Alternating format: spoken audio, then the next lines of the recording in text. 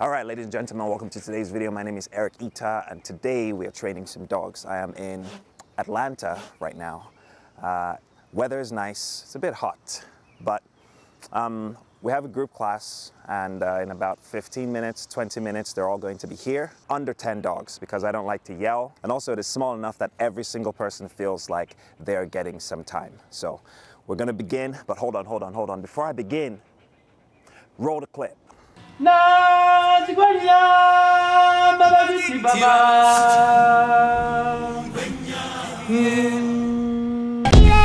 Pericinema di quella mamma che vai fuori con tutto con i baffi che ti viene sempre Good, off. Good, up. Good, off. Good, up. Good, off. See, the class starts in 10 minutes, and this dog has been whining, just whining, whining, whining. I need to get some energy out so that she can actually stay through the class. People think Capri is well trained. Hey, up. All she does is whine, whine, whine, whine. Yeah, yeah, put your back legs up there. Back up, back up, back up. Climb up. There you go. Climb up, climb. There you go. I'll just leave her there, get some energy out. Just wait, I'll be back. You know, when I was your age, a long time ago, we used to have to walk three, ki- three kilometers in the pouring rain with pails on our heads just just to get home you know? And it really it really was a tough time but you know you kids you have it so easy nowadays. You know you just press a button and it comes out. The tap the tap is all hey hey hey i'm still talking see that one wasn't enough for her so we need more. Up. Up. Good. Off. Good. Up. Off. Where are you going? Off. Good. Up. Off. Off. Good. Up. Wait hold on. Over there. Tunnel. No no no no no. Come here. Tunnel good. Come here. She ran up. She tried to run. Up. Up. Good. Off. Off. Up. Up. Good. Off. Maybe that's enough. We need to put billy to work. Let's go billy sounds like billy wants to do something we gotta find a small thing to maybe just up and up and down this real quick Billy said, no, no, thank you. Here, may I take that for a second? All right. Off. Good. Ah, ah. Up. Good. Off. Good. Up. Good. Off. Good. Up. Off. Good. Up. Good. Off. Good. Up. Off. And not once has Billy acknowledged my existence, which is fine because he doesn't know me. Um, but you, the thing you don't want is a dog that's just kind of making impulsive decisions on their own without actually checking in with you. So it does help to get to the point where Billy's not like trying to make, like go after dogs and do things like that. So that's some of what we're going to work on in the class today. Good. Up. Good. Off. Good. Up. Up. Up. Good. Off. Good. Good. Up. Up. Up. Good. Off. Off. Off. Off. Good. Up. Up. Good. Off. Sit. Good. Off. Good. Up.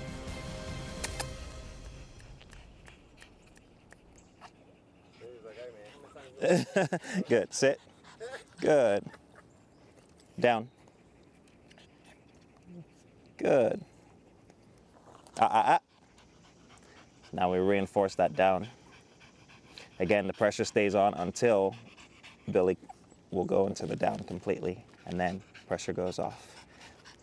Off. Good. Up. Down.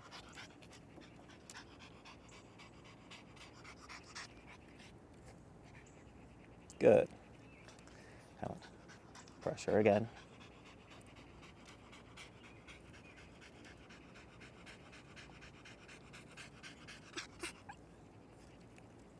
Good. Good. Ah, ah, ah. Down means down, Billy. Good. Good. Okay. There we go. Billy up. Down. Good. Ha. Okay. There we go. Up. Sit. Good. Billy. Down.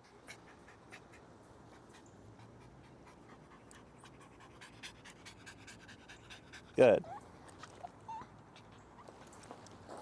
Good. Okay. Billy. Up. Good. Sit. Good. Down. There we go. Okay. I was in New York and there was a dog there that was afraid of buses. Like that. There you go.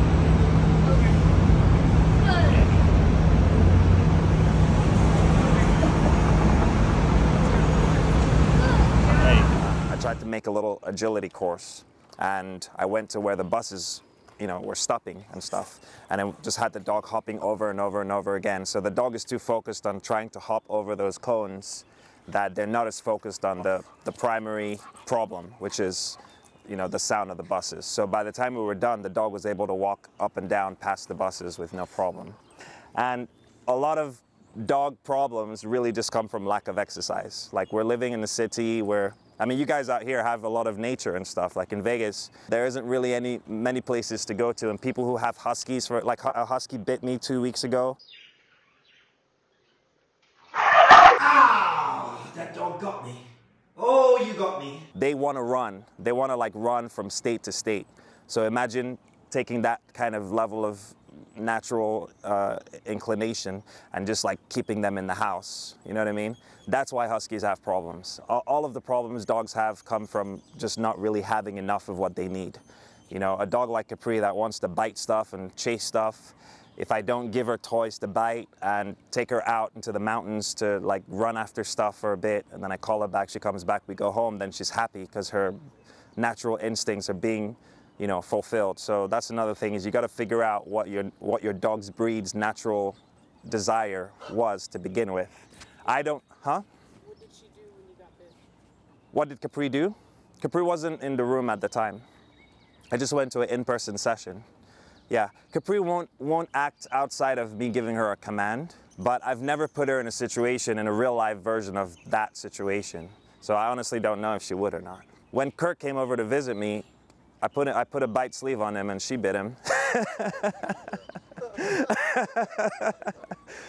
yeah, but for her, it's, the same as biting a toy. So she doesn't she, she doesn't have a fear attached to it. That's what a lot of uh, people who do protection training who don't do it well. Somebody say, "Oh, my dog my dog bit whatever whatever. We should you know, but the dog likes to bite, so maybe we should put them in protection training." And then they go teach the dog how to bite, but they but they can't teach the dog how to turn it off.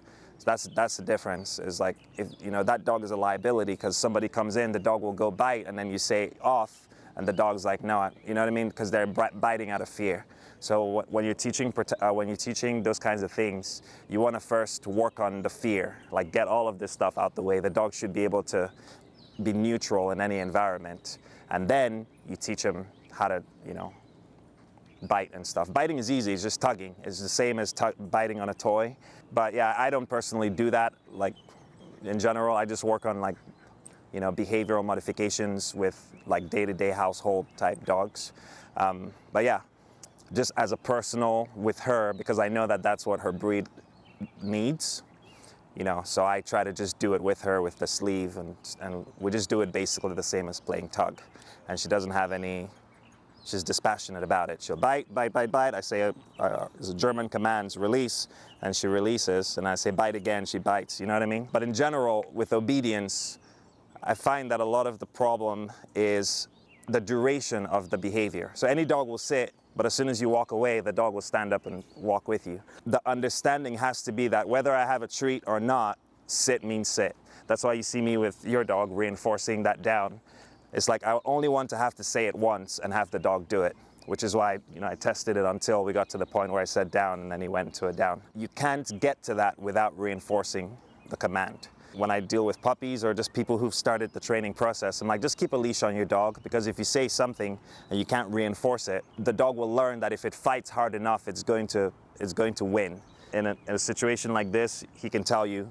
Uh, when I tried to do the down with the leash yesterday, um, I think it took almost 17 minutes just to get that first down with the leash pressure. But as soon as we got the down, every other time after that, he went into a down as soon as the pressure was there. So a lot of people, and the, the other house we went to afterwards, the guy was like, oh yeah, this is taking too long. I'll, I'll try it another time. So he wasn't really willing to like sit through that beginning process.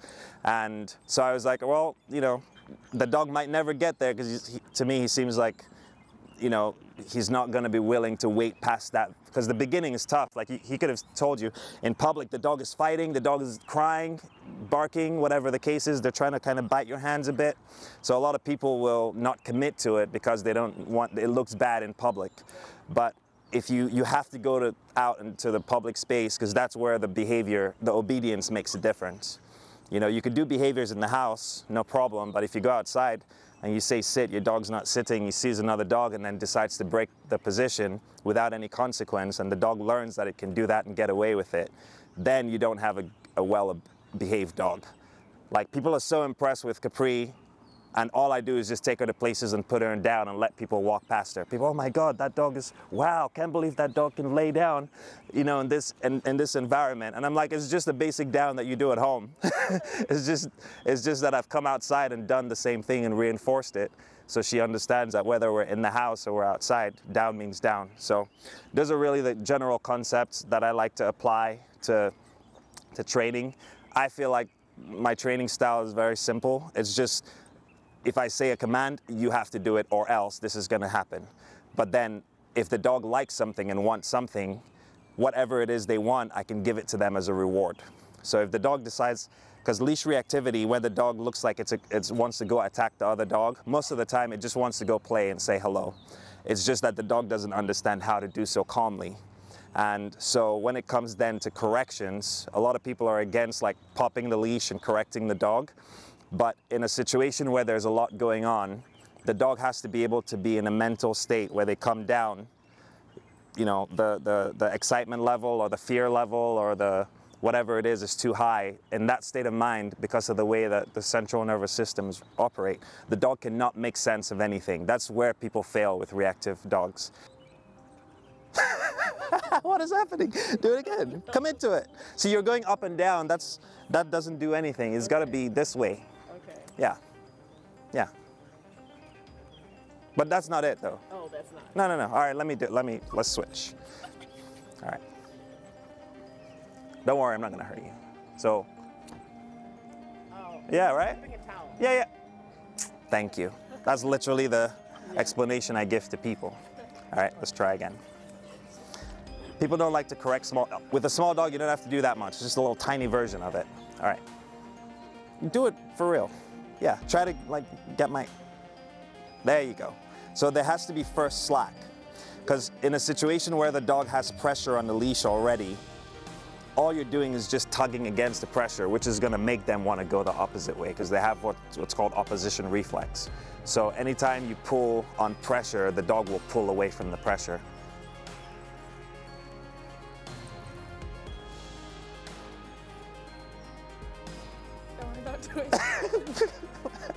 No, in and out, commit to it. So start. You're starting off with pressure already. Release, pop, and release. Fast. There you go. Perfect. All right, do it again. There you go. All right.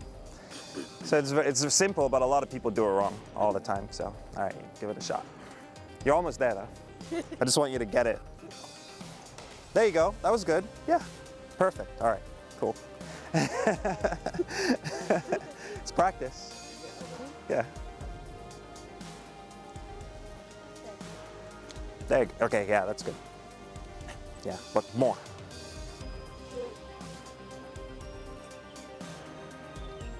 There it is. That's good. Uh, try one more time.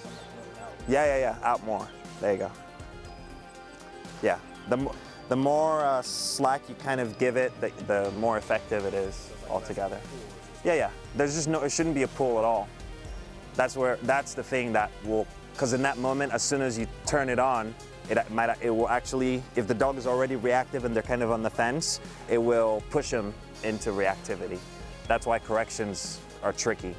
You know, a lot of people don't like correcting dogs, but it's not, it's just that they don't know the timing of when to do it.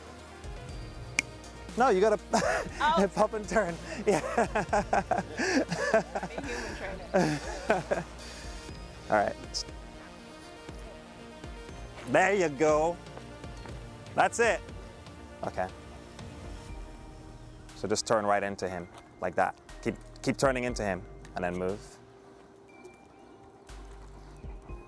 And then randomly again into him. Like that. And let him learn to flip around that way.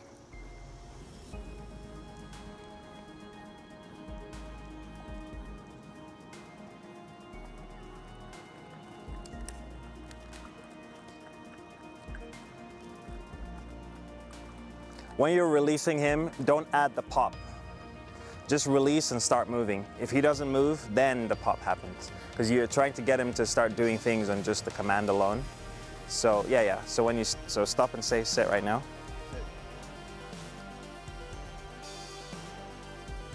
Just leash up.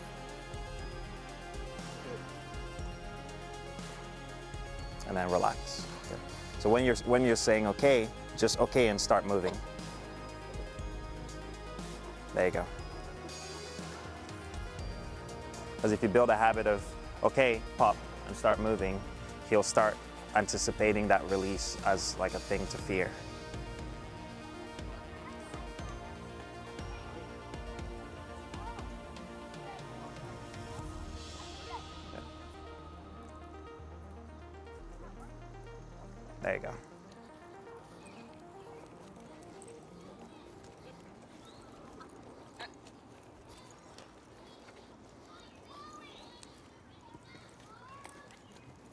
And he'll just try to avoid it.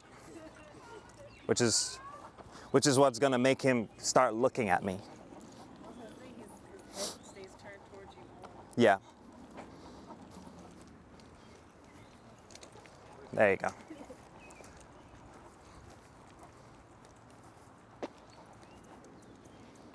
See? Perfect